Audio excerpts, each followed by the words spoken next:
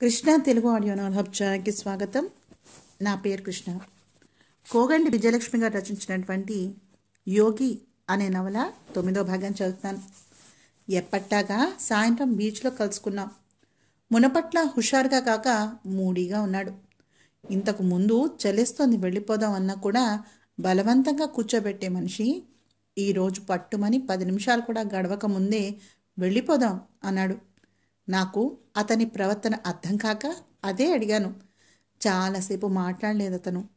నేను రెట్టించి అడిగేసరికి తనకి భిలాయ్ నుంచి ఐదు లక్షల కట్నం బైకు యాభై తులాల గోల్డు ముప్పై కిలోల వెండి ఇస్తామంటూ ఒక మ్యాచ్ వచ్చిందని అన్నాడు.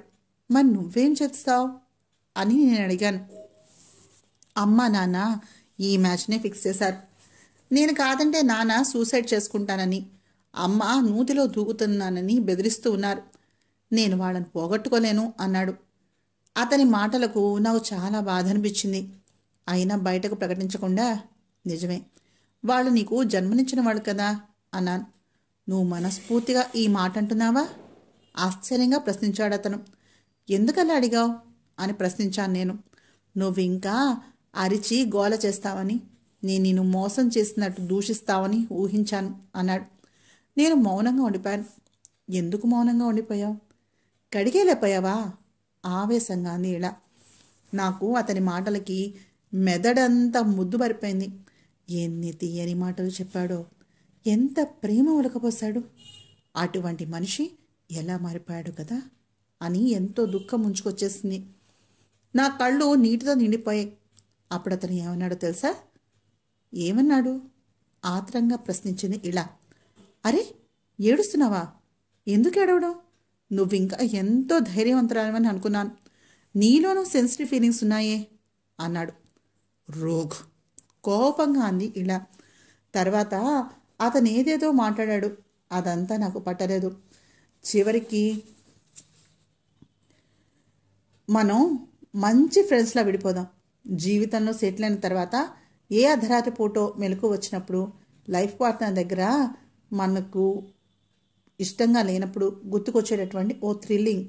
మనము చేశామనేటటువంటి గుర్తు తెచ్చుకోవచ్చు అన్నాడు. నేను మరీ పాత సినిమాల్లో చెప్పేలాగా నన్ను మర్చిపో స్వప్న అని అనను అంటూ లేచి నిలబడ్డాడు. నేను అతన్ని ఆపడానికి ప్రయత్నించలేదు. అతను వెళ్ళిపోయాడు.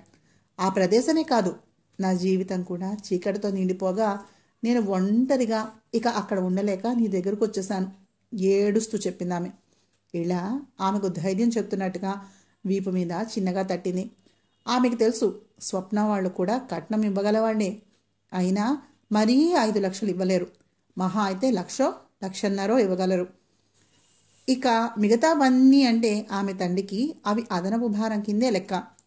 అతనిప్పటికే ముగ్గురు ఆడపిల్లలకి పెళ్ళిళ్ళు చేసేస్తున్నాడు. డబ్బుతోనే మనుషులను కిలజుకొల్చేటటువంటి జీవన్ లాంటి వాడికి స్వప్న లాంటి అందమైనది గుణవంతురాలైనది అయిన అమ్మాయి కంటే సంచులు మోసుకొచ్చే అనాకారైనా పర్వాలేదేమో. అటువంటి మనిషికి ఎంత నచ్చ చెప్తే మాత్రం లాభమే ఉంటుంది. బాధగా అనుకుందామే. వాడెవడు? అన్న మాటలకి ఇలా స్వప్న ఉలిక్కి పడి చూశారు. ఎప్పుడొచ్చాడో నలన్ వాళ్ళ వెనగ్గా నిలబడి ఉన్నాడు. ఎవరు? ప్రశ్నించింది ఇలా స్వప్నని మోసం చేసినవాడు. ఎందుకు? వాడి మీద పోలీస్ కంప్లైంట్ చేయడానికి. ఏమిటి? పోలీస్ కంప్లైంట్ అంటున్నావు? అదే సమయంలో లోపలికి అడుగు పెడుతూ ప్రశ్నించాడు వేదాచలం. ఏం లేదు. కంగారు కాంది స్వప్న. అదేమిటమ్మాయి? నువ్వేమో ఏడుస్తున్నావు. వీడేమో పోలీస్ కంప్లైంట్ అంటున్నాడు. ఆతుదాగా ప్రశ్నించాడు వేదాచలం. ఇక తప్పదన్నట్టు జరిగింది క్లుప్తంగా వివరించింది ఇలా. స్వప్న మౌనంగా ఉండిపోయింది. చి అన్ని చోట్ల ఆడదాన్ని వంచే మగవాళ్ళే అటువంటి జాతిలో పుట్టినందుకు సిగ్గుపడుతూ ఉన్నాను. కోపము నిస్సహాయతలతోటి అన్నాడు నలన్ ఇలా స్వప్న ఆశ్చర్యంగా అతని వంక చూశారు. అతను రాధికాదేవి గురించి వాళ్ళకు వివరించాడు. గోతికాడ నక్కల్లాగా ఎప్పుడు అవకాశం వస్తుందా? ఏ స్త్రీని వంచిద్దామా? అని ఎదురు చూసే అటువంటి వాళ్ళకి అందనంత దూరంగా ఉండాలి ఆడవాళ్ళు. కానీ నాగరికత ముసుగు తొడుక్కున్నటువంటి నేటి అమ్మాయిలు వయసు రాగానే మొట్టమొదట చేసే పని ప్రేమలో పడిపోవటం. వాడు మోసం చేస్తే కుమిలి కుమిలి ఏడవటం. ఎందుకంత తొందర? ఇంట్లో పెద్దవాళ్ళు పెళ్ళి చేయరనా? పోనీ ప్రేమించేవాళ్ళు ఆ మగాడు మంచివాడా మోసగాడా అని కూడా తెలుసుకోరు. మనసుకోసారి దెబ్బ తగిలితే కోలుకోవడం ఎంత కష్టమో తెలియకపోవడమే దీనికి కారణం. వరుసగా రాధికాదేవి విషయం తెలిసి స్వప్న మోసపోయిన వైనాన్ని అవగతమయ్యి అతను తన మీద తానే కంట్రోల్ తప్పిపోయాడు అక్కడున్న వాళ్ళంతా అతని వంక బొమ్మల్లాగా చూస్తూ ఉండిపోయారు. అటువంటి వాళ్ళని వదలకూడదు. చెప్పండి. వాడెక్కడున్నాడు? అదే ఆవేశంతో ప్రశ్నించాడు. ఎందుకు? పోలీస్ కంప్లైంట్ ఇవ్వడానికేనా? ప్రశ్నించాడు వేదాచలం. దానికోసమే అయితే నువ్వు ఆ విషయం తెలుసుకోకపోవడమే మంచిది. ఎందుకని? జరిగింది ఏదో జరిగిపోయింది. ఇప్పుడు ఆ పిల్లని పోలీస్ స్టేషన్ చుట్టూ తిప్పితే ఏం జరుగుతుందట? అదేంటి మావయ్య? పెద్దవాడివి. నువ్వే ఎలాగంటావు న్యాయం మన వైపు ఉంది దాంతో చట్టం వాడిని లాక్కొచ్చి స్వప్నతో పెళ్ళి జరిపిస్తుంది. ఇది సినిమా అనుకుంటున్నావా? అలా జరగదు. ఎందుకు జరగదు? నేను జరిపిస్తాను.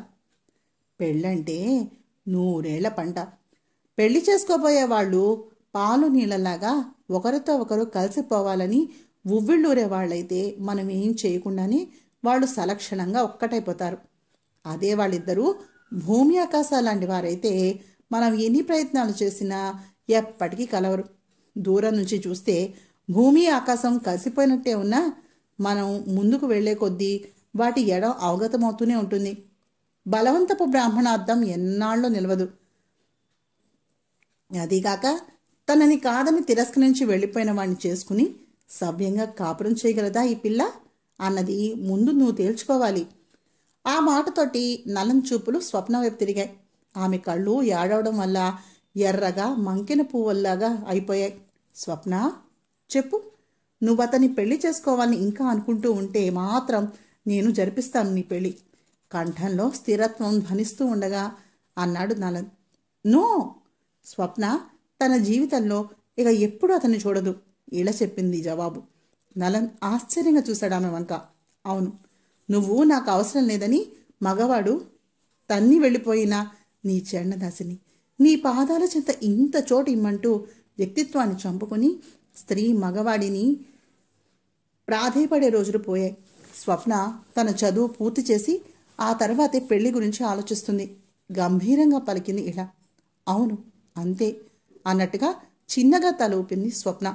దాంతో నలన్ వేదాచలం అక్కడి నుంచి కదిలి వెళ్ళిపోయారు. జగదాంబ సెంటర్. బస్సులు కార్లు స్కూటర్లతోటి ఒక్కటే హడావిడిగా ఉంది. చిన్నగా తుంపర పడుతూ ఉంది. అప్పుడు సమయం సాయంత్రం ఐదు గంటలైంది. నీ షాపింగ్కి వేళాపోళా ఉన్నదే.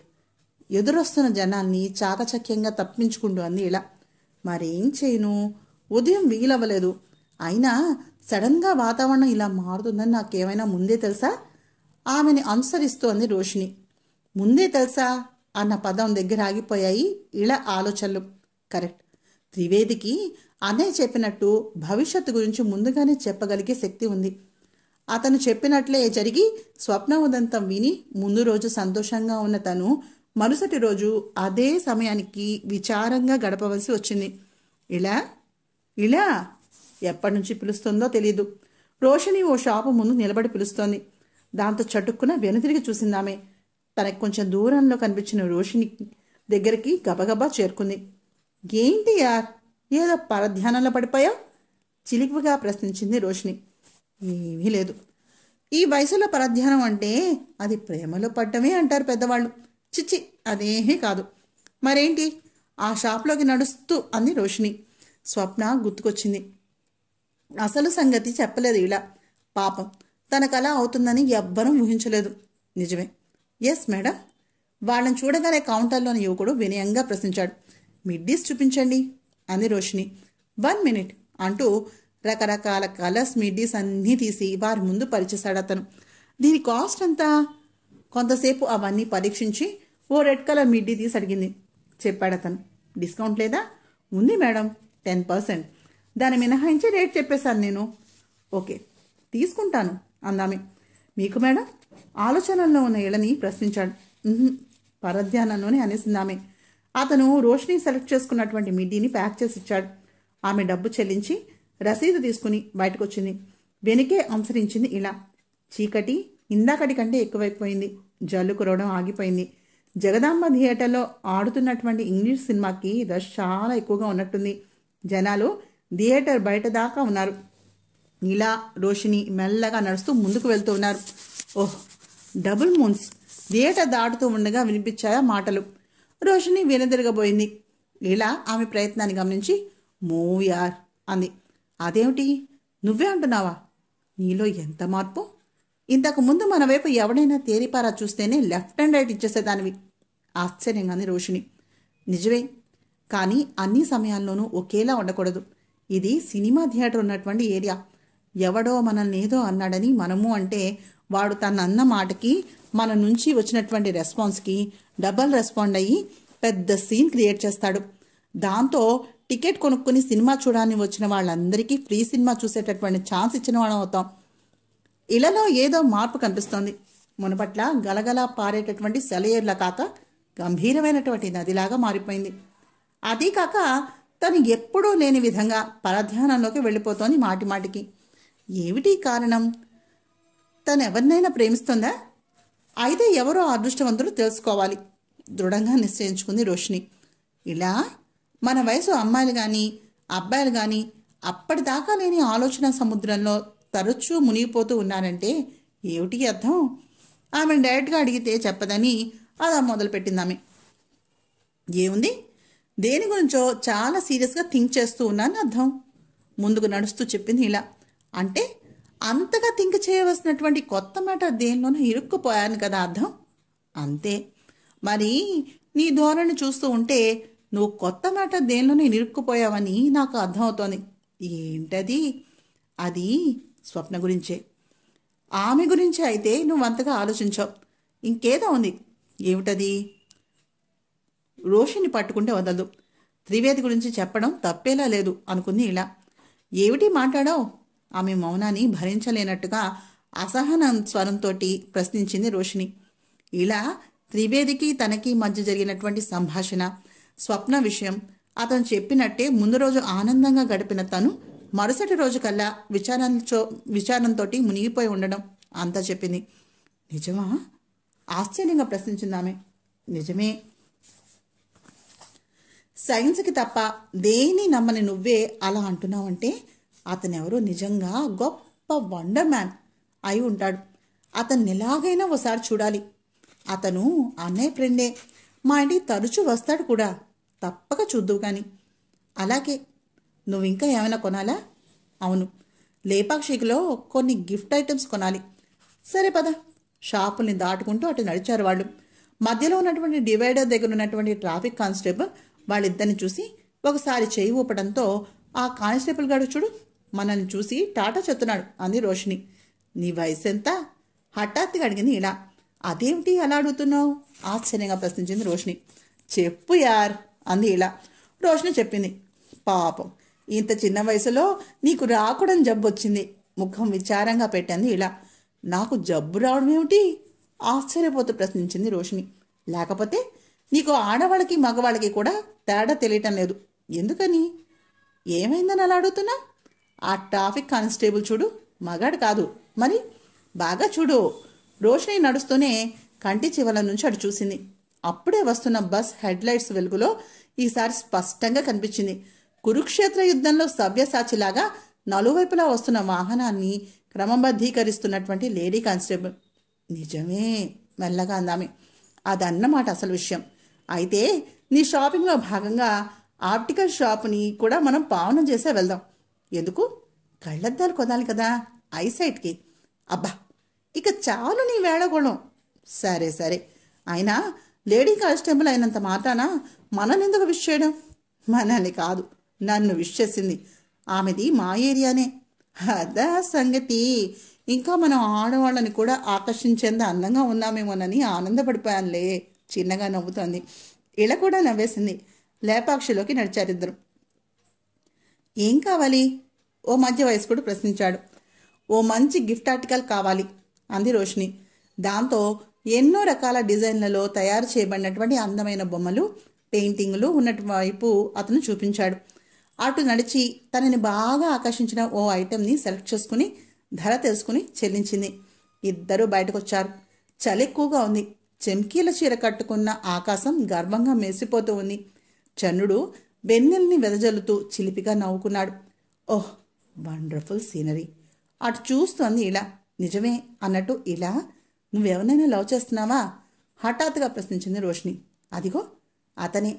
ఆమె ప్రశ్నించిన కొన్ని క్షణాల తర్వాత రోడ్డు మీదకి చూస్తూ తలంచుకుని వెళ్ళిపోతున్న ఓ యువకుడిని చూపించి ఎగ్జైటింగ్గా బదులిచ్చింది ఇలా.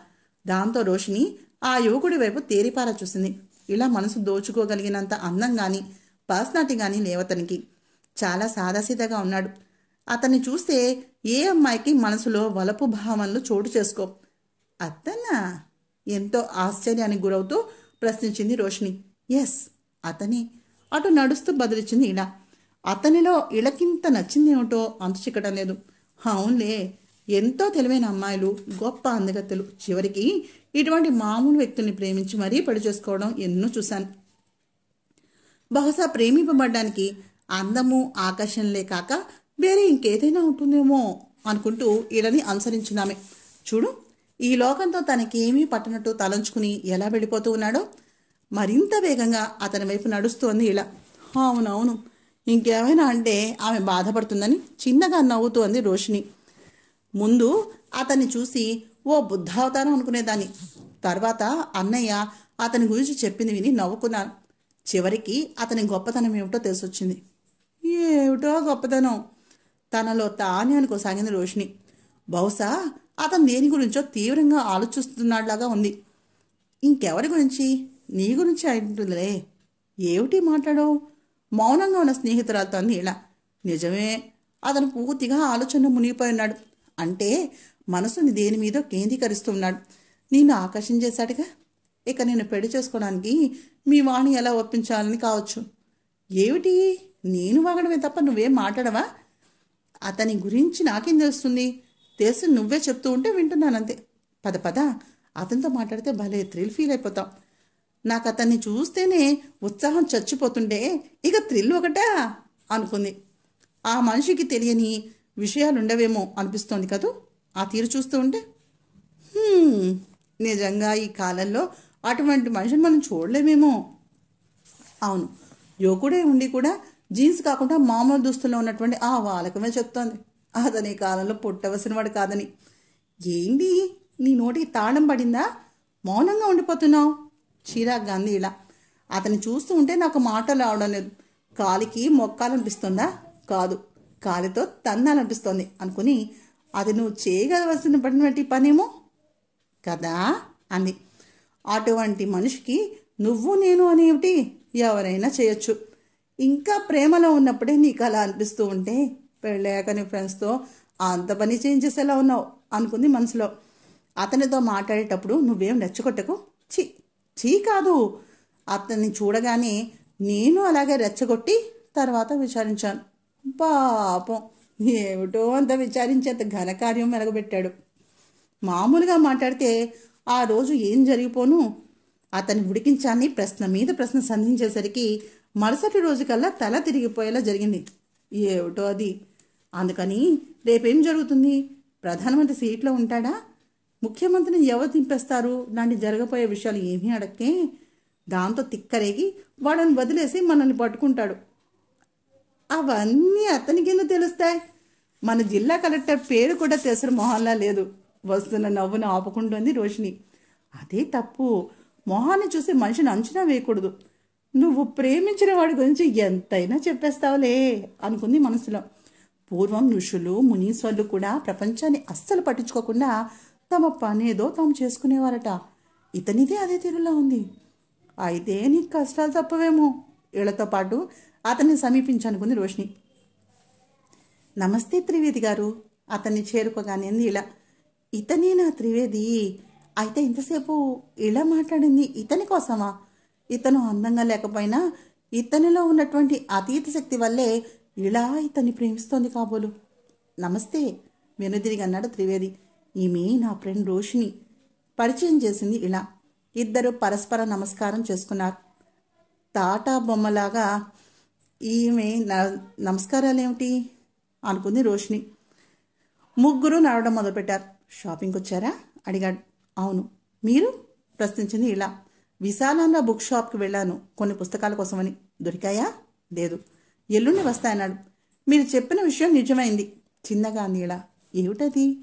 ఇరవై నాలుగు గంటల్లో మీ సంతోషం విచారంగా మారిపోబోతోంది. మీరు బాగా అభిమానించే ఓ స్నేహితురాల విషయంలో అన్నారు కదా? మీరు చెప్పినట్టే జరిగింది. మా ఫ్రెండ్ ఒక అబ్బాయిని లవ్ చేసింది. ఇద్దరు మ్యారేజ్ కూడా చేసుకుందాం అనుకున్నారు. కానీ అతను తనకు హ్యాండ్ ఇచ్చేశాడు. తను నా దగ్గరకు వచ్చి ఎంతో విచారించింది. అలా మీరు చెప్పిన జోస్యం నిజమైపోయింది. ఆ మాటకి అతని ముఖం మాడిపోయింది. మీరేమిటలా అయిపోయారు? ప్రశ్నించింది ఇలా. మీరు చెప్పిన విషయం విని. ఎందుకు? ఆ క్షణంలో మిమ్మల్ని చూడగానే నా మనసుకి తట్టింది చెప్పాను. నిజంగా అలా జరిగి ఓ అమ్మాయి భవిష్యత్తు వక్రగతిన పడింది అంటే నాకు అటువంటి విషయాలు తెలియకపోయినా బాగుండు కదా అనిపిస్తోంది. ఇలా అతని ఒక్క ప్రశంసగా చూసింది. తను చెప్పింది జరిగినందుకు ఇతను సంతోషించడం లేదు. ఓ అమ్మాయి బాధల్లో పడిందని బాధపడుతున్నాడు. నిజంగా ఇతను మనిషి కాదు మనీషి. ఇటువంటి వ్యక్తిని తను ఆట పట్టించాలనుకుంది బాధగా అనుకుందామే. అదే సమయంలో రోషిని కూడా అతని వైపు అబ్బురంగా చూసింది. అతని గొప్ప వ్యక్తిత్వం అర్థమయ్యి మీరు బాధపడి చేసేదే ఉంది. భగవంతుడు ఒక్కొక్కళ్ళకి ఒక్కోటి ఇస్తాడు. మీకు భవిష్యత్తును ముందుగానే దర్శించగల అద్భుతమైనటువంటి శక్తిని ప్రసాదించాడు. మీరు కాబట్టి ఇంత సాధారణంగా ఉన్నారు. కానీ అదే ఇంకొకరైతే ఈ పాటికి తమని తాము భగవత్ స్వరూపులుగా ప్రకటించేసుకుని చుట్టూ భక్తుల్ని అనుచరగణాన్ని నింపేసుకుని ఉండేవాడు. అటువంటి వాళ్ళని చూస్తేనే నిజమైన యోగుల్ని స్వాముల్ని ద్వేషించడం ప్రారంభిస్తారు అందరూ. వారి వల్లే హిందూ మత స్థాపకులు గొప్ప ఆధ్యాత్మిక పరాయణులు అయినటువంటి మన ఋషుల్ని కూడా ఈ తరం వాళ్ళు నమ్మలేకపోతూ ఉన్నారు. నిజమే అన్నాడు అతను అప్పటికి వాళ్ళు నడుస్తూనే జిల్లా కోర్టు వరకు వచ్చేశారు. చల్లని గాలులు స్వైర విహారం చేస్తూ ఉన్నాయి. లైట్ల వెలుగులో దట్టంగా కిందకి జారుతూ ఉన్న మంచు తెరలు స్పష్టంగా కనిపిస్తున్నాయి.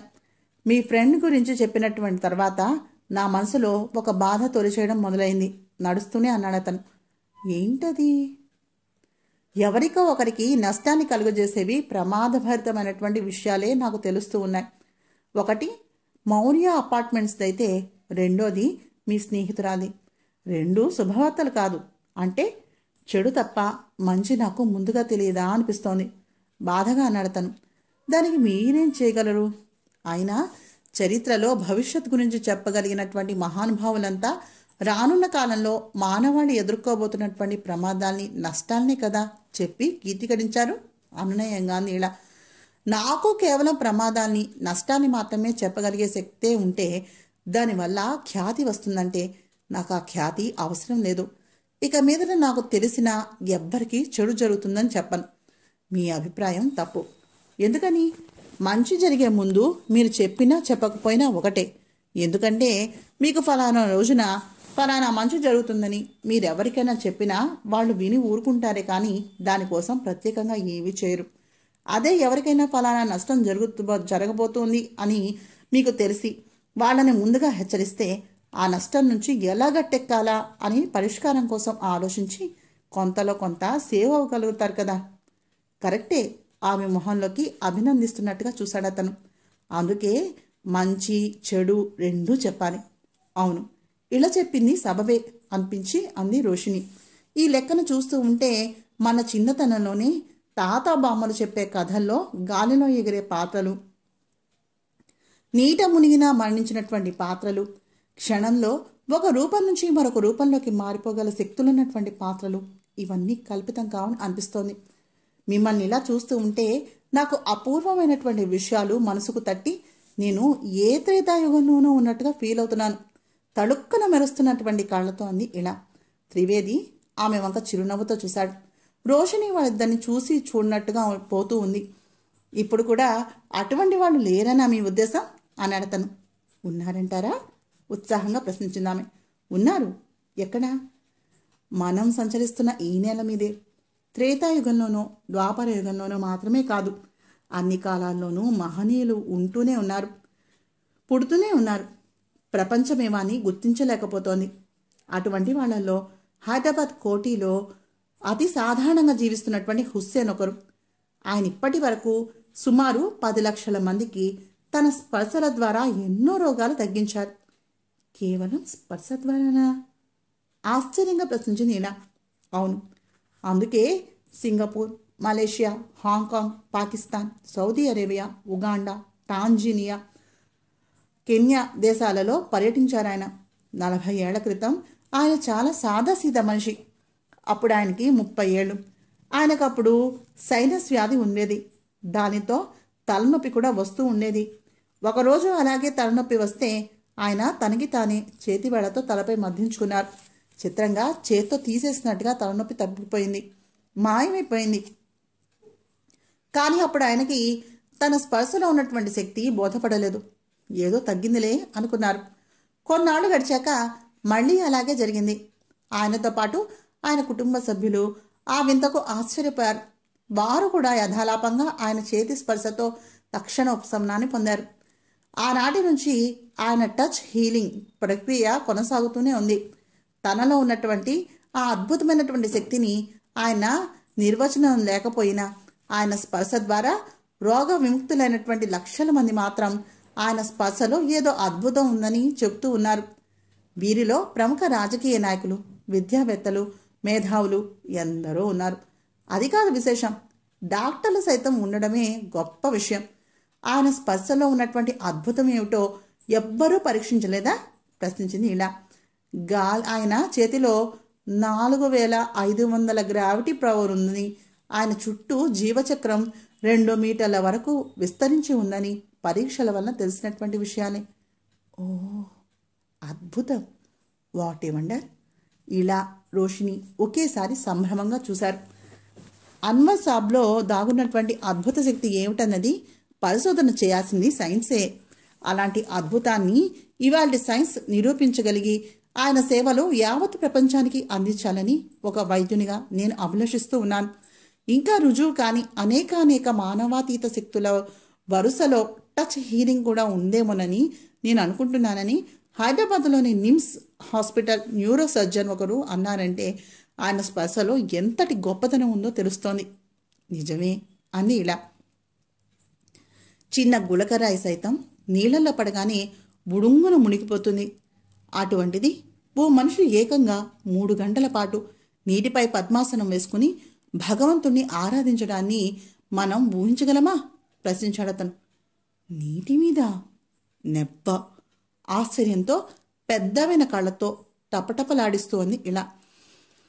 అటువంటి అసాధ్యాన్ని సాధ్యం చేసినటువంటి వ్యక్తి సైతం ఉన్నారు. ఎవరతను? విజయనగరం జిల్లా డెంకాడ మండలంలో రఘమండ గ్రామంలో శ్రీ వ్యాసాశ్రమ వ్యవస్థాపకులైనటువంటి శ్రీ వ్యాసానంద స్వామి. ఈయన ఒకసారి తన ఆశ్రమానికి అనుకో ఆనుకుని ఉండేటటువంటి బావిలో దిగి దైవస్మరణ గావించుతూ మూడు గంటల పాటు నీటి మీద తేలుతూ చుట్టుపక్కల గ్రామాల నుండి పెద్ద సంఖ్యలో వచ్చినటువంటి దర్శ భక్తులకి దర్శనాన్నిచ్చారు. పట్టుదల అనుకున్న కార్యాన్ని సాధించాలన్న దీక్ష మనిషికి ఉండాలని అప్పుడే మనిషి ఉన్నత శిఖరాలు అధిరోహించగలుగుతాడని తదేకంగా భగవంతుని ధ్యానిస్తే ఇటువంటివి సాధ్యమేనని ఆయన భక్తులకు సెలవునిచ్చారు. మీరు చెప్పే వింటూ ఉంటే మతిపోతోంది అంది ఇలా. అవును మతిపోగొట్టే గొప్ప సత్యాలివి. నేటి ఆధునిక సైన్స్ నమ్మలేనటువంటి అద్భుతాలు. అటువంటిదే ఇంకొకటి. బెంగళూరులో జైనాశ్రమానికి చెందినటువంటి జైనముని అనేటటువంటి అరవై ఏళ్ళు పైబడినటువంటి ఒక అతను సంవత్సరం పాటు ఏ విధమైనటువంటి ఆహారము తీసుకోకుండా కేవలం వేడి నీరే తాగి జీవిస్తున్నాడంటే మీరు నమ్మగలరా? నమ్మగలం. రోషిని అంది వెంటనే. నీకెలా తెలుసు? ఆశ్చర్యంగా ప్రశ్నించింది ఇలా. ఈ మధ్యనే ఏదో దినపత్రికలో చదివాను కాబట్టి చెప్పిందామె. అన్ని రోజులు ఆహారం లేకపోతే దేహం గృహించిపోయి చచ్చిపోదు? అడిగింది ఇలా. మనలాంటి వాళ్ళకైతే అదే జరుగుతుంది. కానీ ఆయన గొప్ప యోగశక్తులు గలవాడు. దాంతో ఆయనకేం కాలేదు. ఆయన్ని పరీక్షించినటువంటి వైద్యులు మాత్రం ఆయన అన్ని రోజులుగా కేవలం రెండు పూటలా కాచి చల్లాచల నీరు తాగి మాత్రమే జీవించిన ఆయన కేవలం శరీర బరువు కోల్పోవడం తప్ప ఇతరత్ర ఏ అనారోగ్యానికి గురి కావలేదని గొప్ప దిగ్భ్రమకి లోనయ్యారు. ఇలా రోషిని అతని మాటల్ని మూగవాళ్ళలా వింటూ ఉన్నారు. వణికిస్తున్నటువంటి చలి సైతం వాళ్ళ ఆసక్తిని సడించలేకపోయింది ప్రపంచం గుర్తించని వాళ్ళు ఇంకా ఎందరున్నారో అటువంటి మహానుభావులు. మీలాగా అజ్ఞాతంగా చెప్పునంది ఇలా నేనింత గొప్పవాడినని నేను అనుకోవటం లేదు. వెంటనే అన్నాడు అతను గొప్పవాళ్ళని మీరు గొప్పవాళ్ళు అనగాని వారు అనే మాట మీరు ఉపయోగిస్తూ ఉన్నారు. భవిష్యత్తులో జరగబోయేటటువంటి చెడ్డ కార్యాలు మాత్రమే తెలుస్తున్నాయి నాకు. పోనీ అవే తెలిసినా వాటిని ఆపగలిగే శక్తి కూడా ఉంటే సంతోషించేవాణ్ణి. చిన్నగా అన్నాడు అతను కోగంటి విజయలక్ష్మి గారు రచించినటువంటి యోగి అనే నవలను చదువుతున్నాను. నా ప్రయత్నం మీకు నచ్చినట్లయితే తప్పకుండా మా ఛానల్ని సబ్స్క్రైబ్ చేసి షేర్ చేసి లైక్ చేసి కామెంట్ చేయండి. నమస్తే.